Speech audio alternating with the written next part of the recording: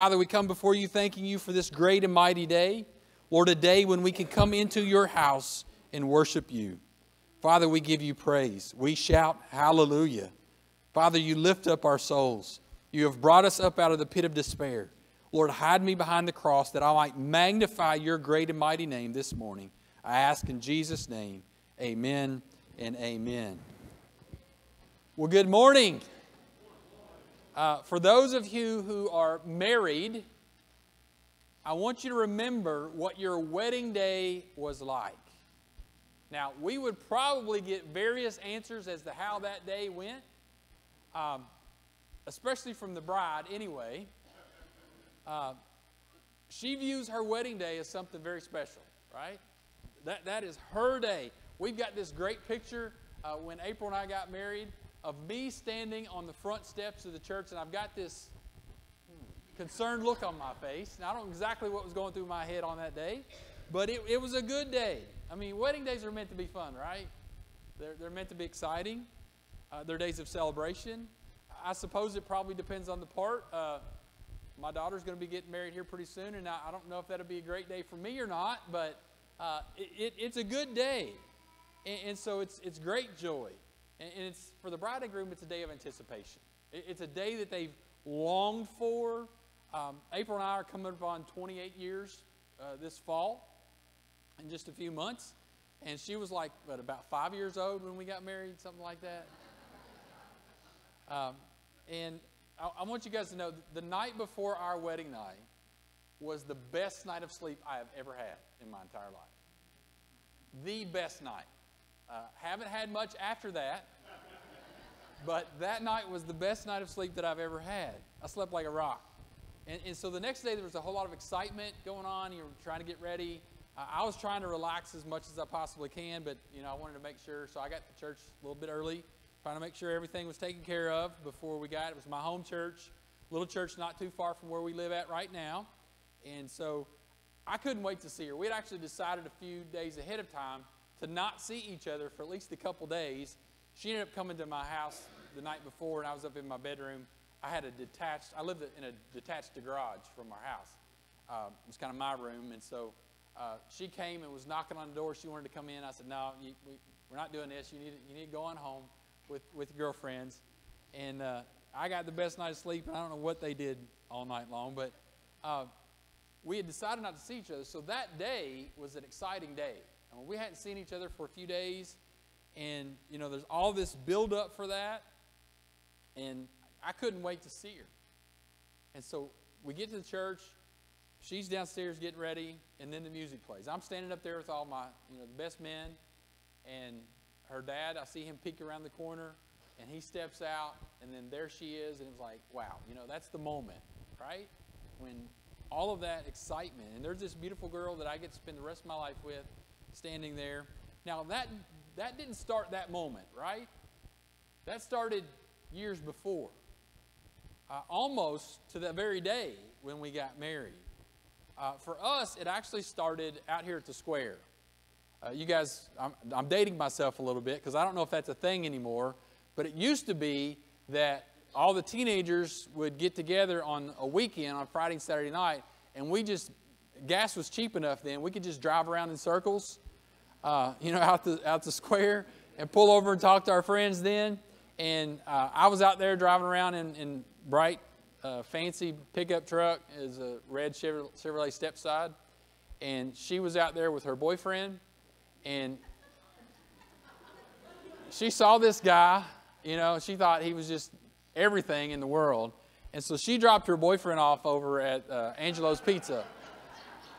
True story. She dropped him off at Angelo's Pizza and said, "I'll be back in just a minute." And she came over and, and started talking to me, and uh, you know, it's just one of those moments. And she's like, oh my gosh. And so she asked me to scoot over, and she jumped in my pickup truck, and we just drove around the square. And I don't know if we did we ever pass your boyfriend maybe a few times? she actually forgot him.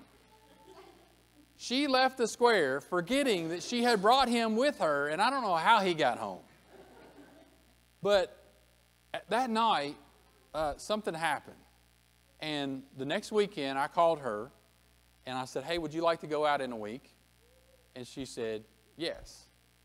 Now, you guys get this. It was two weeks before we got a date. Two weeks of anticipation. I, I made her wait two whole weeks. And so, all of that time, she's in, she was a junior in high school. I, I just graduated.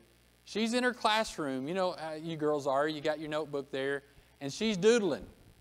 She's writing my name on her folder and, and daydreaming about this awesome guy that she gets to go out with here in a couple weeks. And all of that is build up to the event that took place three years later at the altar when it all came to fruition. I, I, I bet you guys got some similar stories that you could probably. I've, I've overindulged that a little bit. But at some point in time, you guys were called together and a date was met and there was a spark or something that happened. Maybe it was a shotgun, I don't know. Something got you all together. And it led to what is now that you have this, this wedding. There was a first date. And as, you got, as we got closer to each other and knew more about each other, we, we said, hey, I like her, she likes me. Uh, something is there, and before long, you're following each other around like a puppy on a string except there isn't any string and there's all this emotion and, and effort, the long nights, short days, and it builds up to when both of you decide this is a, this is a good fit, this fit, feels right. Let's make it permanent. And it, that day is longed for, it's anticipated, there's a lot of preparation goes into that. You guys know that. What you wear, uh, the food, the music, the flowers, everything is planned for until that day. And we come to this passage here, beloved. This is a day that is longed for.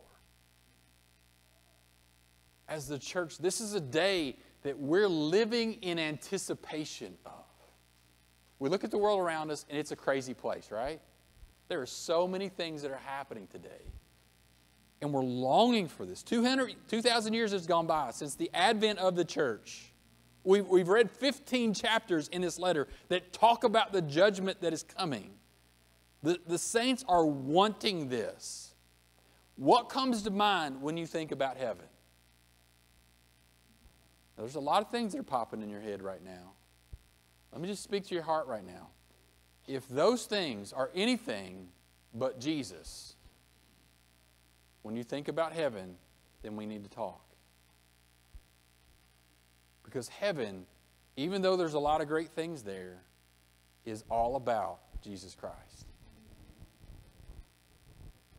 There's, we think about the streets of gold, we think about no more sin, no more death, all of these great things. I had a professor one time said that he wants to have a villa on the outside of Italy. And, and that sounds great, but that's not heaven, okay? On your wedding day, there's a lot of great things that happen. And I'm sure those of you who are married, you weren't thinking about the cake. You weren't thinking about the people that were going to be in the pews you weren't thinking about all this other stuff. What you were thinking about was the one you get to be with. And that's what heaven is all about. That's what this day is all about. It's about the one we get to be with. Now, don't get me wrong, I love this life. I, I love all the great things that I get to do.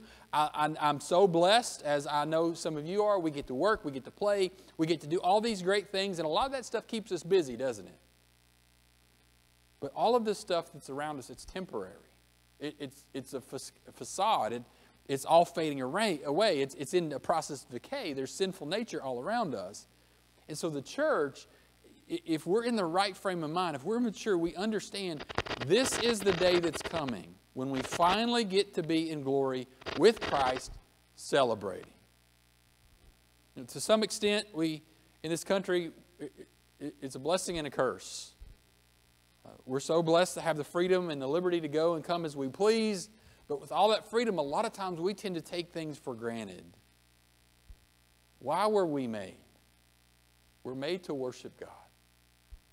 That, that, that's our purpose. And we can do all this other stuff, and in reality, we're just kind of spinning our wheels if we're not focused on Him. You guys ever get tired of the rat race? You ever get tired of waking up morning after morning and and, and your back aches and your feet hurt and all of this stuff is is going up, the bills are piling up, you're trying to figure out what, which problem to tackle first. Again, it's not to say that we don't love this life. You don't love your husband or your wife or your children or family and friends, but there's more than all of this. There's so much more, and all of it revolves around Him. He is our final destination. He is total peace, He's absolute security. So we don't have to worry about all this if we're focused on Him because He promises to take care of us. That's what heaven is all about. It's all about Jesus. And so when we look at our text, the picture that John portrays for us here is overwhelming. Really get into this. He's just witnessed the fall of an apostate church. Babylon the Great has been taken down. It's been destroyed. Judgment has came to an unrepentant world. All of heaven now is praising God. They're shouting, as we just did, Hallelujah! Hallelujah to the King! Hallelujah to this God who, who's been patient, who's brought salvation. The greatest gift that we've ever had, beloved, is salvation in Jesus Christ. He didn't have to do that. He did not have to save you. He doesn't have to offer that. We deserve so much worse. We deserve His wrath. But if He hadn't did that, that's exactly where we'd be. We'd be under judgment with all of the rest that we've been reading through. And so God is praised for His power. He's praised for His glory. He's praised for salvation. He's praised for His justice. All of those things belong to Him, you see, because it's only through the awesome power of our Lord Jesus Christ that we can be saved from sin. That we can be forgiven and, and made new. That's what the cross and the resurrection is all about. The saints are in a position of praise because of God's grace. Because He saved you. And He's brought us into safety. God, God is praised for His judgment on the wicked. We, we see here in our passage, the, last, it's been a few weeks ago, but in chapter 14, 6, or 17, and 18, He judged Babylon. In one hour, that city fell and it was destroyed. Men are, are running all over the place, and it was destroyed because it was leading them astray. The curse that, that is coming to an end, we see in this passage. The worst thing about Babylon, beloved, it was it led people from the truth. It kept them from salvation. All these things that are going on in the world today that are sidelines and sidetracks that hold us back, it keeps us from living our true purpose, which is to serve and worship God. All of that ends right here in this passage with the fall of Babylon. Babylon has been destroyed. And for that, it's being judged. It's, it's never going to be seen again. And so God is going to have to deal with the great deceiver. We're going to see that here in a few weeks. But man's part in it, God is dealing with right now. So God is praised for ushering in his kingdom. The wedding day is here. Everything that is anticipated in the church is found here. And so we can rejoice. We can be glad. All of the planning, all the preparation, all the anticipation is finally coming to what it was meant to be. Whatever was started on the cross of Calvary is completed in the consummation of the wedding supper. You guys understand what we're looking at? This is a great day. We're anticipating this day. It's an awesome day. It's a new day because from this point on starts something totally new a millennial reign. It's what the Jews had been longing for. Remember when we talked about Jesus coming riding into Jerusalem? He was on the back of the donkey, and, and what were they singing? Hosanna, Hosanna in the highest. Blessed is he who comes in the name of the Lord. What were they looking forward to? They were looking for the king that was coming in to start anew. He was going to start reigning. He was going to kick out all the government. He was going to take off and, and rule things in a righteous way. Now, they were longing for that, they were looking for that, but their timing is off. Because there's a lot of things that had to play, take place before that. Before he comes to reign in power, he has to redeem me and you. If he doesn't die on a cross, then sin's not defeated. The grave is not defeated. So he has to go to that place first. He has to defeat death and sin by rising from the grave so that one day we can too have resurrected bodies. He also had to go away so he could send the Holy Spirit, so he could write it upon our heart. so he can indwell us with power from on high, so that we, as he prayed in John chapter 17, would have union with him and the Father. None of that happens if he does not go to the cross. He Can't sanctify us. And he continues that even to this very day. What we're looking at today is a day that all the church, all of the Old Testament saints, all of them look forward to since the very beginning. A day when everything will be made right as Jesus takes his rightful place as the ruler over all of creation. Lord is welcomed in His church. He's, he's brought us together with Him. We're dwelling in His presence. We've been made new. We're transformed. We're seen here in this passage as blameless. Notice the transformation process that takes place in here. Verse 8 Fine linens, bright and clean, were given to her to wear. Fine linens uh, John writes in uh, the, the text below that those stand for the righteous acts of the saints. How many of you like to go shopping? Some of you are shaking your head. Yeah, most of the ladies, most of the guys probably saying, no, I, I, I can pass. Um, when, when we first got together, April and I, we were dating, and then right when we got married, we had a little money because we didn't have any kids at the time. And, and so we would go to the mall in Lexington. She loved to go shopping, and I went just because she wanted to be there. And she liked to go into uh, the department stores up there and get tennis shoes. Tennis shoes, especially Nikes. Nikes was her thing then. And so we would buy the newest pair of Nikes so that she could cover her pretty little feet in victory. Nikes means victory, right? So she wanted to put Nikes on her feet, and we always got the newest pair. And after that, as a reward for me going with her, I, I got to go into the outdoor section of Dick's or some other sporting goods store. And, uh, you know, I could spend hours in Cabela's right now just walking around looking at stuff. Uh, and, and so this is about being clothed in something new. On a wedding day for the bride, what's the wedding day all about? Ladies, the dress. It's all about the dress. The dress has to be something special, right? Now, guys, we're not going to get this as much because, the, you know, the ladies understand this. The dress is it. But here in our passage, what it says here is that Christ is imparting his righteousness to the church. We don't have any righteousness in and of ourselves. Even, Paul says, even all the things that I do, even the good things that I do, they're nothing but filthy rags. So, what Jesus does is he clothes his bride, the church, because it's all about him. See, beloved? He's, he's making us new. We got a few stains on us. We got a few, how did those things happen? And so, Jesus, the perfecter of our faith, as the Hebrews tells us, He's going to clothe his church in righteousness. This is actually the ultimate Cinderella story. Before Disney ever thought about putting it in movie feature, this is the Cinderella story. He is the hero.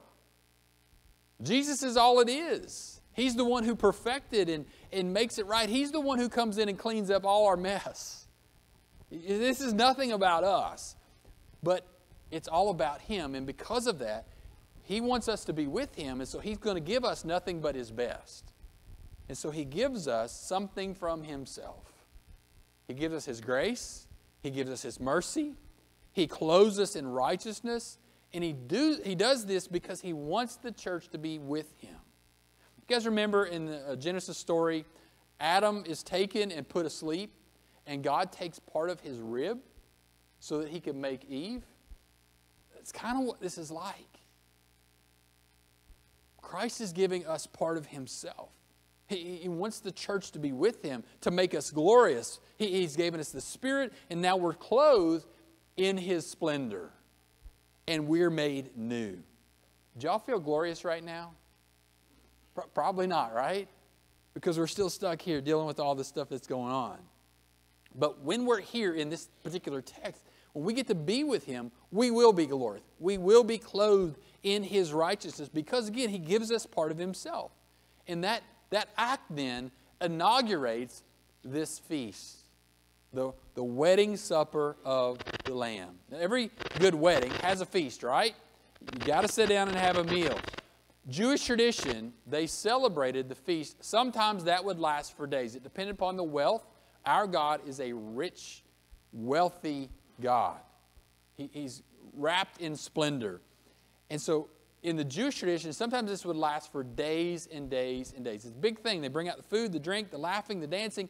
All of this happened. You guys may remember the first miracle that Jesus did. Where did that happen at? It was at a wedding. And it had lasted for some time, so much so that they ran out of wine. And so what did he have to do? They brought in the water. He changed it to wine, and the, you know, the, the host said, Hey, you got to save the best stuff for last, you know?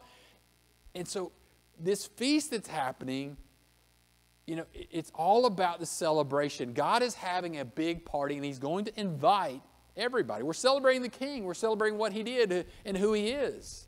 The angel tells John here, write this down. That means this must be important, right? If he's writing all this down anyway, and then he tells him, make sure you write this part down, John. And he says here, blessed are those who are invited. Invited to the wedding supper of the Lamb. Did you get that, church? This meal is by invitation only. You have to be invited. The invitation comes out in the gospel message. You only get to be here if you're invited from the King of Glory. Now, here's, here's the good news I have been called and commissioned by the King himself to be a messenger. And so I am inviting all of you right now, if you haven't been invited already, to the supper. You have the invitation, okay? I'm asking you to come. What you have to do now is accept. You have to say, Yes, I want to come to the wedding supper of the Lamb. I want to be with Jesus because that's what heaven is all about. I want my sins forgiven. And so I'm going to trust in Him. I'm going to confess in my mouth that, yes, I am a sinner and I am in need of a Savior. And Jesus is that Savior. I believe everything that the Bible says about Him, and I'm, i want to put my trust in Him. You just repent and you believe in the Lord Jesus Christ. And the Bible says then you will be saved. Now, that, that, that, that's it. That's the gospel in a nutshell, right there. That's when Christ comes into your life and He begins to do the work that He wants to happen. He begins to mold you and change you. You guys may remember a story from Matthew chapter 22. Jesus is telling a parable. He talks about this wedding that the king is having, and the king invites all of his servants to come into the wedding. And what, is, what happens is he goes out and he says, Hey, invite everybody to come to the wedding. And they, they all have excuses. They're all doing other things. And they said, Well, we can't go. And so he sends out more servants, and they, they, they slaughter those guys. And so he tells some of the other servants, he says, Go out and don't tell those people who, who were supposed to be here. Go out and tell everybody else. Just find them in the gutter, down in the streets, wherever you can, and bring them into the supper. Now, what happens then when you came to a supper at the king's house is he gave you new clothes. Because you couldn't be in the king's house wearing rags, right? You guys know if you go into a fine restaurant now, they, they got a dress code. Sometimes you have a tie, sometimes you have to have a dress coat. And sometimes if you don't have those things, they provide those things for you. You come in, they got like a closet back there, and you need a dress coat on, they get you a dress coat. It doesn't matter if you're wearing a polo or a t-shirt or whatever underneath, you just got to have the dress, the dress coat on. And so the king would provide the clothing. Christ is providing the clothing. He's already said he's given fine linen and bright clean was given her, the church, to wear. You accept Christ, He gives you the clothing. But you got to put it on. In that story, what happens is there's one man, and you may think this is pretty harsh. That one man comes in, I don't want to wear the clothes. I refuse to honor the king in that way. And that man is escorted out of the feast. He's excluded from the feast. But everybody else who's there have a place at the table. They, have all believed, they're all trusting, and, and they're all, for that matter, now saved. They're, they're given new clothes. They're welcomed in to the table to enjoy the bounty of, of glory. See, Jesus is providing everything that we need. He's providing something good, something better that we cannot get on our own. There's a world out there, beloved, it's trying to entice you, it's trying to get you away, it's trying to get your attention. Enemy tries to do all sorts of things to, to draw us away and cause us not to, to, to focus on Christ. All of those things pale in comparison. We have an invitation. There's something more that is waiting for us. And today we're living in anticipation. Now, I know tomorrow there's supposed to be a big event. I don't know if you haven't heard, if you had your head stuck in the sand, you know that there's a, there's a eclipse happening. And there's been some folks saying that Jesus is coming back tomorrow. Well, if he is, amen. Mm-hmm. Okay? I'm ready. But if he doesn't, that's not a big deal. Okay? The Bible does say that there will be signs in the heavens. There's all these sorts of things. There's been earthquakes happening. There's been wars and rumors of wars. We've talked about all these things. God will come back when He's good and ready. Right now, He's being patient. And He's giving everybody who has not accepted Him plenty of time so there is no excuse. The invitation is out there. I've just presented it. If you have not trusted in Christ, let today be the day. Will you please stand as we sing? Have you been to Jesus for the cleansing power? Are you washed in the blood of the Lamb?